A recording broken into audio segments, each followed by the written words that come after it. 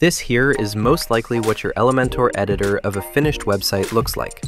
Endless widgets that create heavy pages that are slow to load.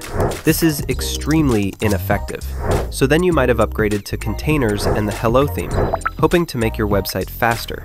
But this is still extremely ineffective, because your website still loads all the unused widgets and does not use the one Elementor feature every Elementor website should use the Element Manager. With this native Elementor tool, you can turn off every widget your website does not use. Let me show you. The Element Manager is broken into two functionalities. Functionality number one, scan usage so you actually know what you use across your website. Functionality number two, toggle off what you do not use so your editor stays clean and your pages load fewer assets. This one feature, which a lot of Elementor users do not even know about, can speed up your website with just a few clicks, and it takes less than two minutes. I'm going to show you how it works. Where to find it? Open WordPress, go to Elementor, then Element Manager.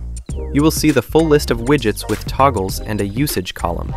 You don't need the Pro version to use it. Scan usage. Click Show Used on your website.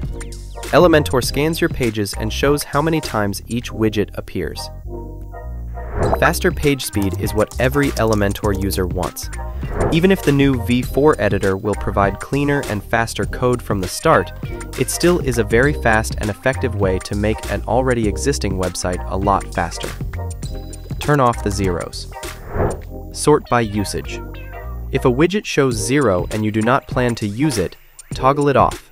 Your editor gets cleaner immediately and you stop shipping assets you never touch. Test your pages. Open a few key pages in a private window and click through. Forms, menus, carousels, pop-ups. If anything looks off, you know what to re-enable. Project routine.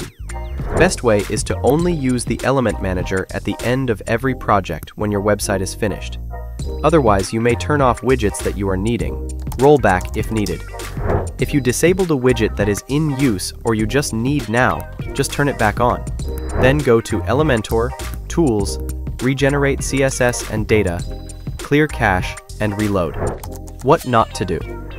Do not disable basic layout or text widgets or turn too many widgets off too early when your website is still in production.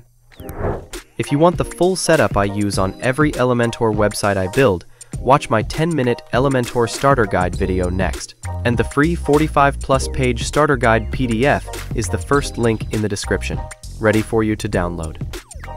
Thanks for watching, and subscribe to make your Elementor websites happy.